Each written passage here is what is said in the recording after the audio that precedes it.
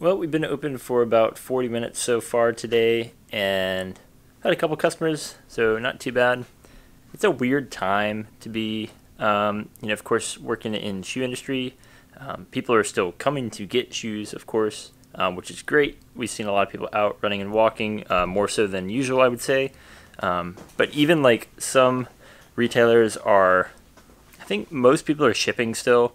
Um, Hoka had kind of closed one of their factories since it was in California, and they decided to uh, reopen it now. Which so they're still shipping, um, but for a few days there, like we couldn't even check inventory.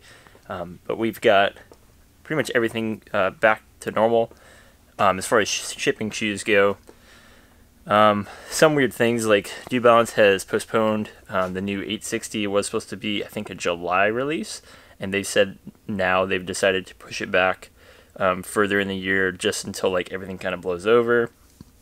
Um, I don't know if that was because they couldn't get product or like because product got uh, delayed in in producing. Um, since most, I mean, most factories um, that shoes are coming from these days are like Vietnam, so definitely not in China as much anymore. But, um, you know, we got you know, of course, there's a lot of releases coming out soon. Um, we're still in March, but I think like the new Pegasus is supposed to be like May, and so we'll see if like things are still coming out on time or if they're getting delayed now. Who knows?